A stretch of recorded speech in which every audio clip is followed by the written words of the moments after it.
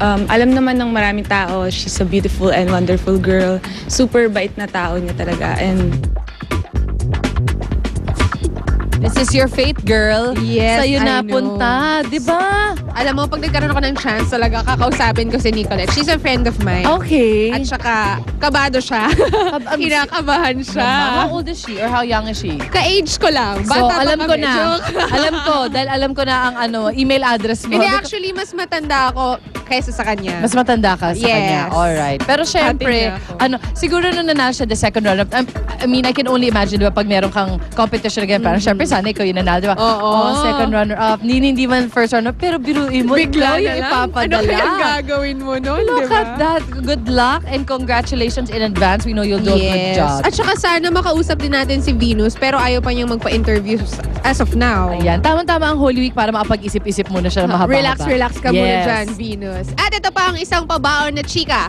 Fusion at Rochelle Pangilinan mag-showdown sa Party Pilipinas. Mukhang nahanap na raw ng international choreographer na si Fusion ang kanyang female version kay Rochelle Pangilinan. Sa darating na linggo, mas pinabongga pa ang Party Pilipinas dahil masasaksihan na natin ang showdown ng dalawa.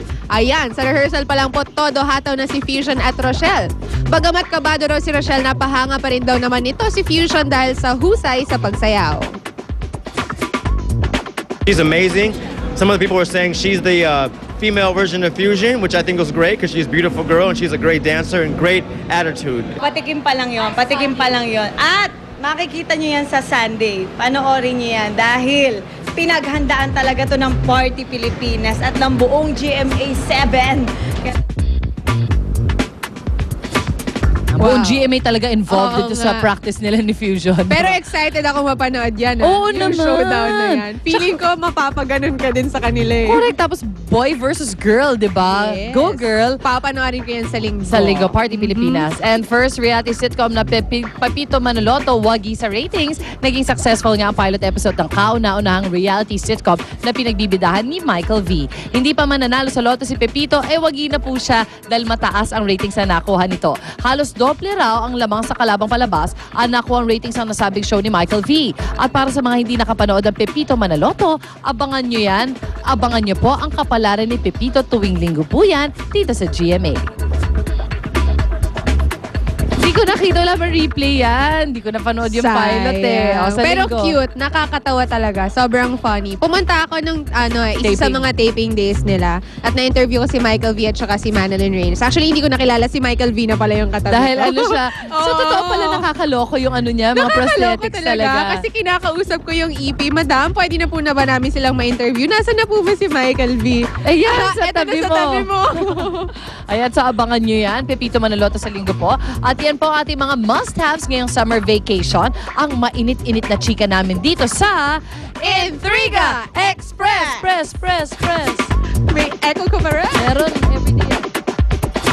Ang bahaging ito ay inihatid sa inyo ng tamang asim na sukang Silver Swan. Alright mga kapuso, tuloy-tuloy pa rin po ang pagtutok natin sa lagay ng trapiko palabas ng Metro Manila.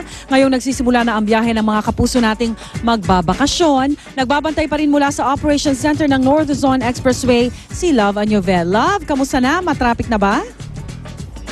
Tama ka, Rhea, no? Nagdadagsaan na yung ating mga motorista dito sa North Luzon Expressway. Kanina nabanggit namin parang 1,900 lang yung plus yung mga motorista per hour na dumaragsa dito. Pero ngayon, ang naitala na po ng ating mga kasamahan dito sa traffic uh, room ay umaabot na, na po sa 3,660 yung mga bihikulo po per hour na dumaraan dito sa Balintawak exit. At doon naman po sa may Dao per hour po yan ay 1,390. Nagkakaroon na ngayon ng konting pagpila yung mga sasakyan sa may ah, Dao exit. Pero dito sa may Balintawak, medyo accommodating pa rin naman ho at medyo tuloy-tuloy pa rin naman ho ang daloy ng trapiko. May konting pagpila lang, konti lang naman sa ating ah, mga motorista dito sa may Balintawak Toll Plaza. Pero pagkalapas po ng Balintawak Toll Plaza, magiging maayos na po at tuloy-tuloy yung inyong pagbiyahe. Ayan, may kita po ninyo sa inyong mga monitor yung magkabilang lane. Sa Philcoa naman, mga kapuso, silipin natin ang Philcoa. May mga nagsisiuwian na ba? Mga nagbabiyahe pa rin? Meron pa rin po mga kapuso, pero may makikita naman ho natin dahil sa napakaluwag na kakalsadahan ng Philcoa, kaya pa rin ho i-accommodate yung pagdagsa ng ating mga motorista dyan at makikita pa rin ho natin tuloy-tuloy pa rin ho ang daloy ng trapiko dyan po sa may Philcoa. Sa may EDSA Kamuning flyover, kanina nagkakaroon ng pag-build up at pagbigat ng daloy ng trapiko, himalang sa mga oras na ito ay hindi pala himala.